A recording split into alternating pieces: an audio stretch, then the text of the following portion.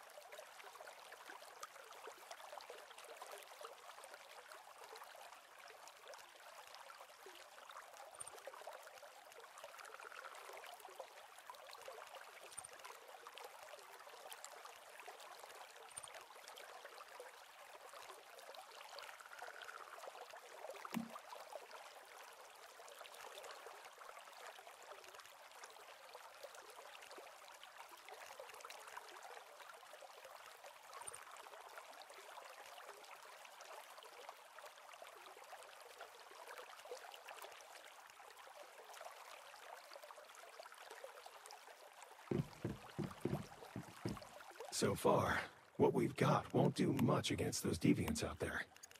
We need proper weapons and armor. There are some abandoned Rosetta facilities nearby. Maybe we could find some useful supply crates there. I've marked their locations on your map.